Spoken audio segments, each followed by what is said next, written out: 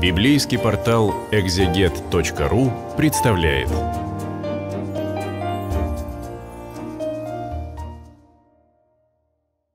Пятьдесят восьмая глава книги пророка Исаии. Я читаю для библейского портала «Экзегет» свой перевод и даю небольшие комментарии. 58-я, естественно, продолжает тема 57-й, где прозвучало э, Господь говорит, «Я даю жизнь смиренным, возрождаю сердца сокрушенных». А что это означает быть смиренным или смиренным и сокрушенным человеком?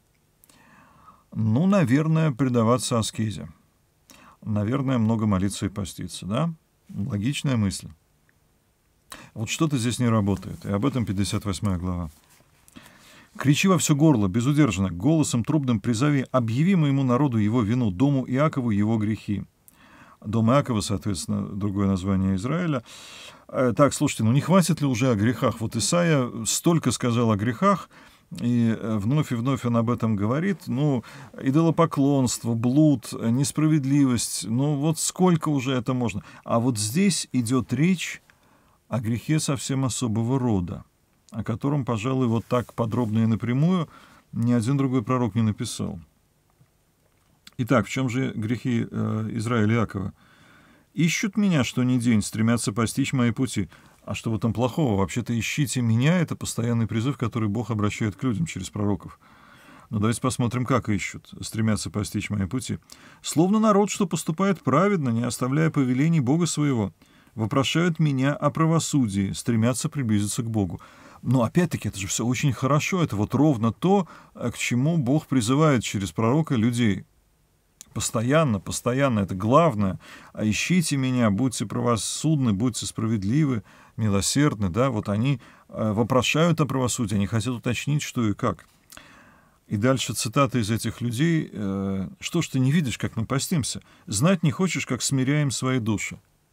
Да, мы смиренные, мы такие вот э, сокрушенные, мы исполняем вот этот вот очень важный обряд поста. Мы, э, ну, что такое пост? Это не только же отказ от еды. Кстати, в древности постились обычно недолго, это мог быть один день, но это полный отказ от еды и питья. А вот мусульмане вместе с Рамадан на световой день отказываются, а тогда могли отказаться вообще на полностью, весь день. Тяжелое испытание, на самом деле, да. А что ж ты, Боже, не видишь вообще? Вот давай уже как-то нам воздай награду за это все. А он э, объясняет, Почему не будет этого? Да вы в день поста творите, что пожелаете. Угнетаете работников своих. Поститесь вы для ссоры раздоров, кулаки распускаете от злобы. То есть, да, вы поститесь, но при этом вы угнетаете и вы деретесь. А у вас э, пост становится поводом для ссор. Ну, вообще, голодный человек — злой человек, правда? И очень часто, когда человек начинает так всерьез поститься, он э, озлобляется. И еще на первом месте даже стоит «угнетаете работников». Казалось бы, при чем здесь это?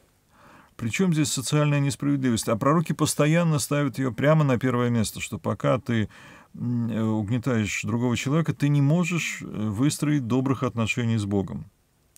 Будете поститься, как сейчас, голос ваш не слышен будет ввыси.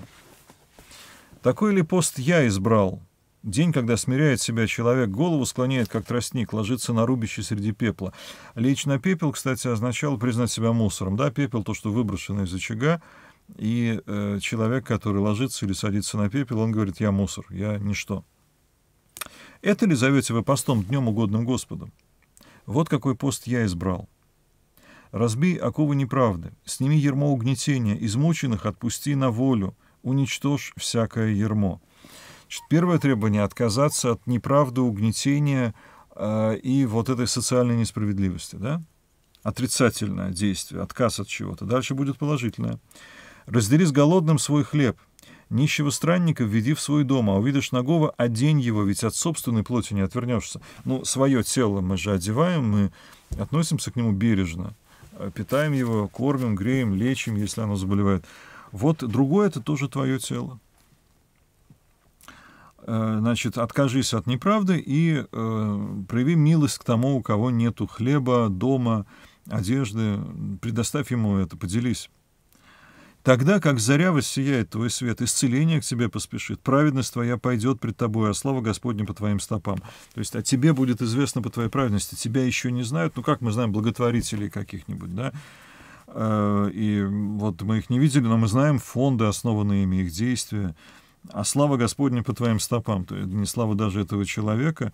И после смерти, там, я не знаю, доктор Лиза, э, очень известная Э, которая занималась подобными вещами, это ведь тоже слава Господня, когда человек делает благо другим э, вот ради своей веры, и эта вера проявляется в таком поведении. Вот тогда позовешь, и Господь ответит. Ты возопишь, и Он отзовется «Я здесь». Что такое пост, вообще-то говоря? Вот, ну, для здоровья, говорят, полезно – но э, самое главное — это обращение к Богу, действенное обращение, потому что сказать «Господи, Господи» можно очень легко, а вот когда человек отказывается от еды, как самого основного, что нужно человеку, ну, после питья и воздуха, а от питья тоже отказывались в древние времена во время поста. Это его призыв. Не случайно сегодня голодовка, например, это э, ну, такой действенный способ заявить о своих требованиях к человеку, который сидит в тюрьме, которому, ну, иначе сказать что-то трудно, да, его никто не услышит. Вот и мы как бы в тюрьме этого мира э, говорим, у нас есть к Богу что сказать, и мы отказываемся от э, еды и э, тем самым взываем к Богу. И если ты вот э, не просто отказался от еды, а хлеб разделил с голодным, тогда Он тебя услышит. Аскетические подвиги сами по себе не нужны. Э, нужно Э, настроение и состояние, когда человек э, живет ради другого, а не ради собственного удовольствия, может быть, даже духовного, может быть, даже он находит в этом аскетическом посте своеобразное такое утешение, он же хорошо постится, ему от этого, по крайней мере, вот он осознает свою духовную такую правильность. Но дело не в этом совсем. Раздели с голодным свой хлеб, откажись от угнетения.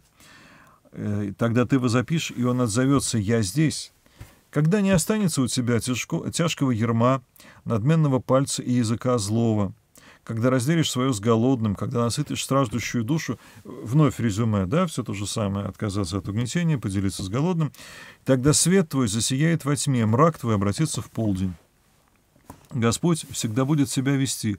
В сухой степи Он тебя насытит, укрепит твои кости, будешь ты как орошенный сад, как источник, в котором не иссякает вода. Ну, и это, конечно, уже про э, Израиль в целом, да, вот э, в степи засушливый вырастает сад, твои потомки отстроят древние руины, возродишь, что былые поколения основали. Вот Иерусалим возрождают, храм восстанавливают, это тяжело, трудно, добиться былого величия почти невозможно. Скажут о тебе, он восстановил павшую стену, улицы сделал пригодными для жилья.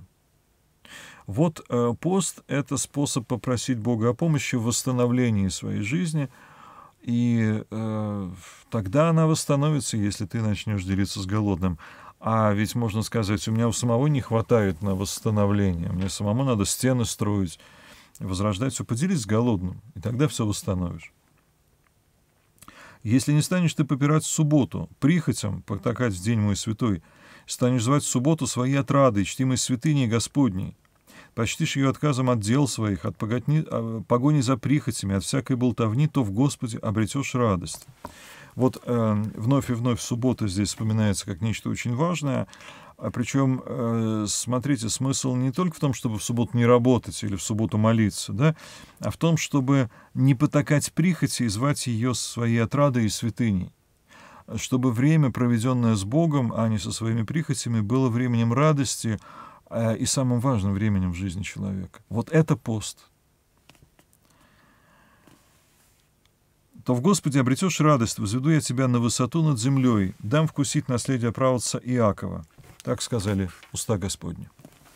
Вот 58 э, глава очень подробно объясняет, как надо поститься, и э, дело даже не в том, что здесь сказано, что есть, чего не есть, вообще, смотрите, это не упомянуто, а в чем суть поста, зачем он нужен — и э, как человеку начать выстраивать свои отношения с Богом.